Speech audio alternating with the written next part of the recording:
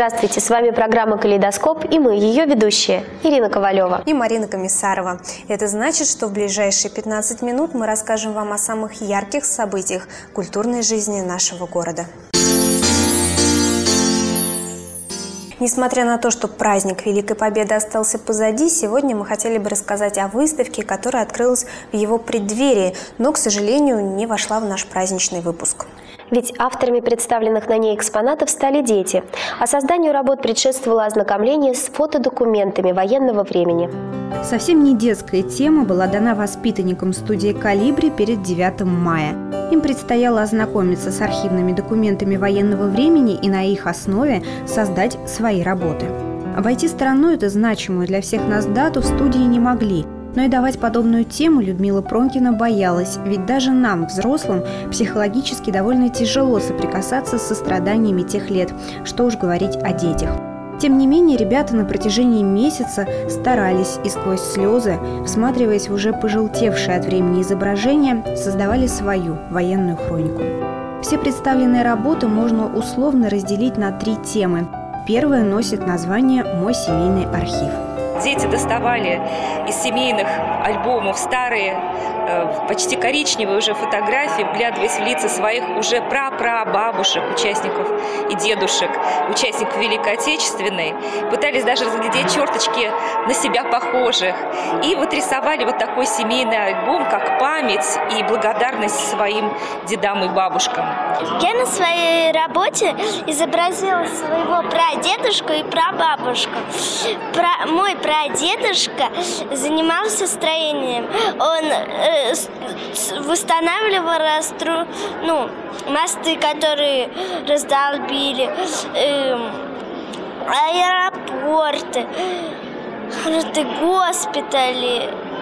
И он был ну, строителем в те времена, а моя прабабушка заслужила медаль в тылу. Вторая тема тяжелее и сложнее – дети войны.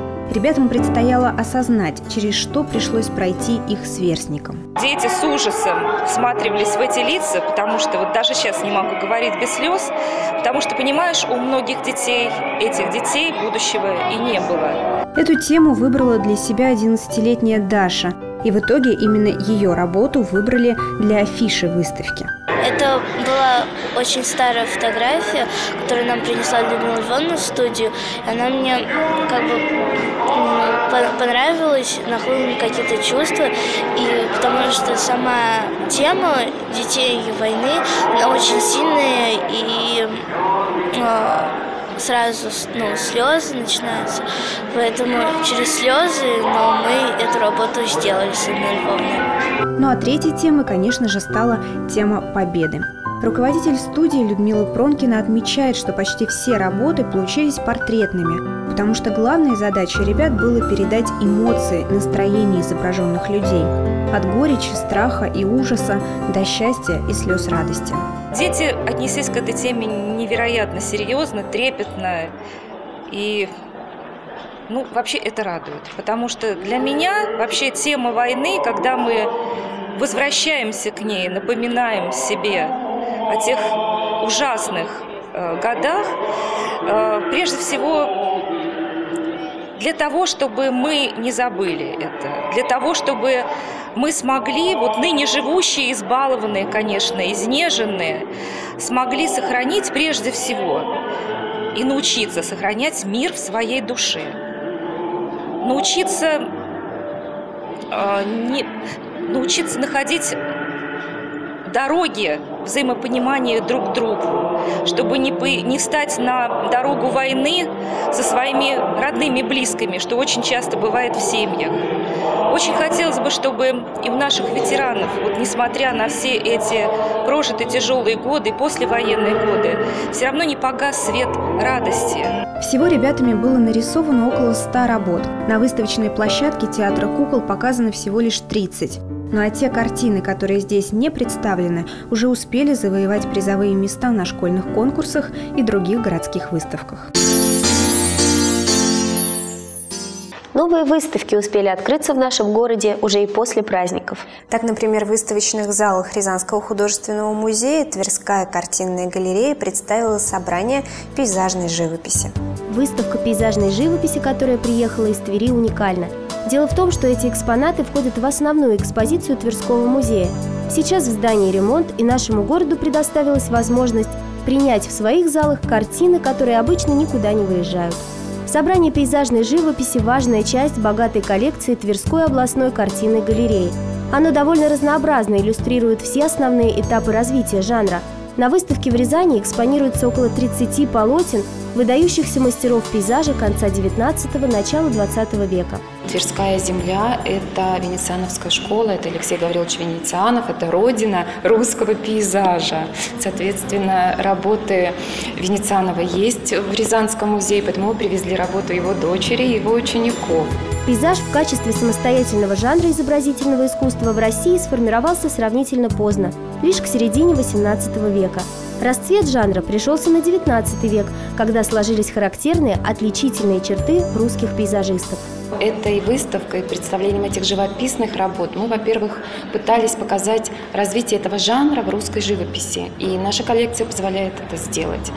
Э, на протяжении складывания и начала его в конце 18-го, начала 19 века. И ну, наша линейка, она проведена до середины 20 века. Достойное место на выставке занимает произведение декоративно-прикладного искусства. Уникальная коллекция изделий из фарфора и фаянса, выполненных на фабрике Кузнецова в Тверской губернии. Выставка будет работать до 6 сентября. Пока в здании Рязанского государственного цирка идет реконструкция, юных и взрослых горожан готов развлечь цирк «Шапито-Арена». Гастроли передвижной цирковой площадки уже начались, а шатер артистов развернулся прямо перед торгово-развлекательным центром «Круиз». В последний весенний месяц гастролирующие артисты цирка «Шапито-Арена» решили порадовать горожан необычным представлением. Яркие рекламные растяжки и даже лимузины, которые можно увидеть на улицах города, обещают рязанцам незабываемое зрелище, а билеты проданы на несколько представлений вперед. Премьера уже состоялась. Свободных мест в уютном цирковом шатре найти было невозможно. И несмотря на пасмурную и прохладную погоду, здесь было по-настоящему жарко. Глядя на невероятные трюки артистов, зрители замирали в напряжении, чтобы потом с облегчением выдохнуть и подарить мастерам циркового искусства громкие овации.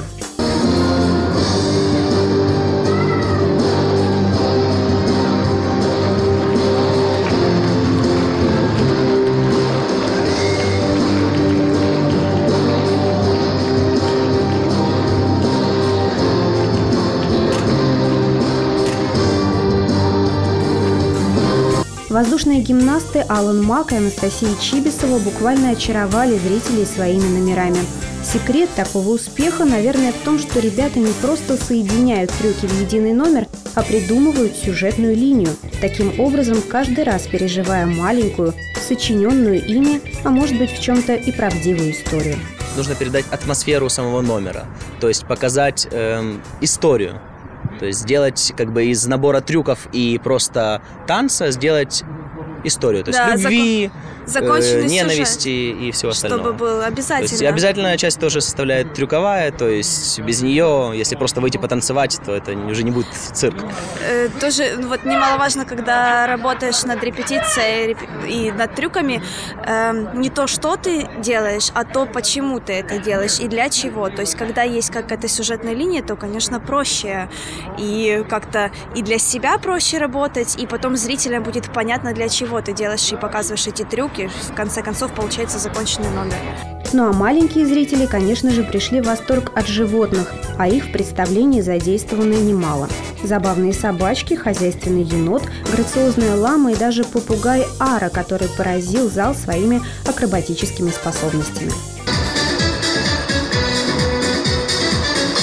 Не обошлось на представлении без хищников. Леопард, южноамериканская пума, бенгальский тигр и, конечно же, бурый мишка, у которого на велосипеде получается кататься даже лучше, чем у некоторых представителей Homo sapiens.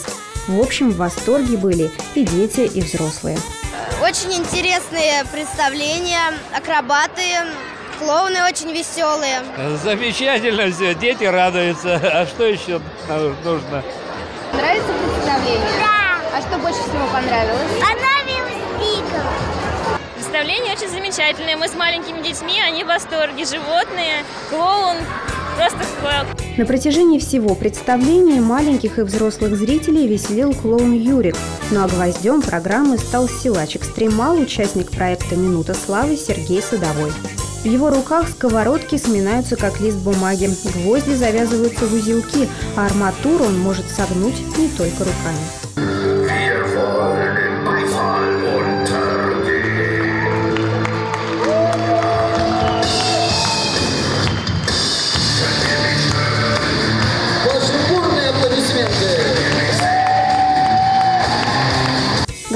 Цирка «Шапито» «Арена» продлятся в нашем городе до 7 июня. Напоминаем, что шатер артистов развернулся на парковке торгово-развлекательного центра «Круиз». И если вы поспешите, то, возможно, успеете поучаствовать в акции, которые сейчас действуют в цирке «Арена». И купив один билет, второй вы получите совершенно бесплатно.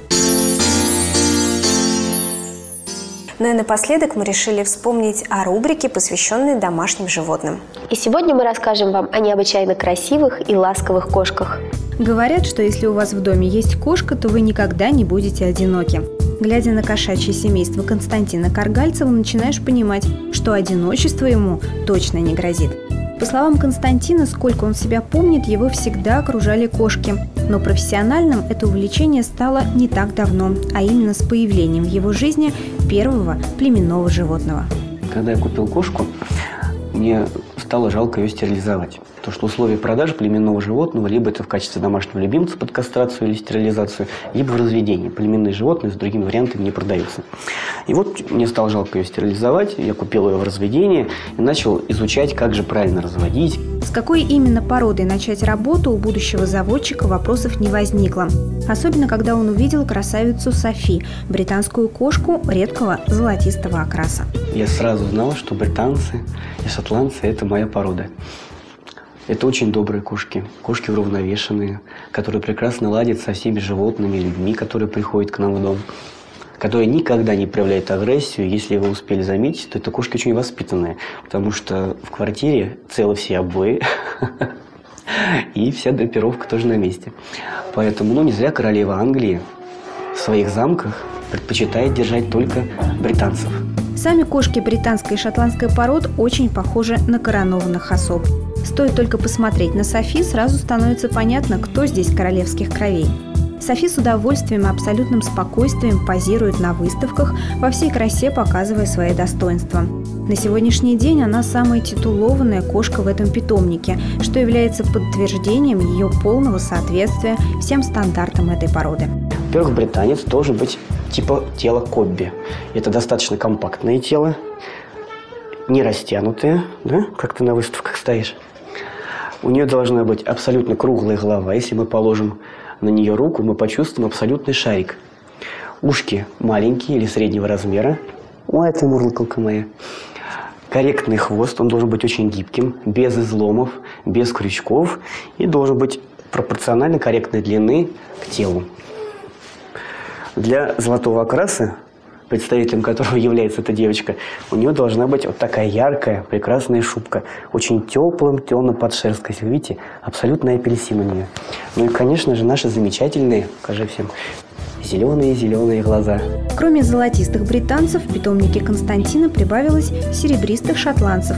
Уже сейчас с ними ведется определенная воспитательная работа, чтобы эти белые комочки, когда найдут своих хозяев, радовали их красотой, лаской и покладистым характером, который подарила кошкам этой породы сама природа. Ну что ж, на этом наша программа подходит к концу. Увидимся с вами ровно через неделю в калейдоскопе новых интересных событий. До встречи! Thank you.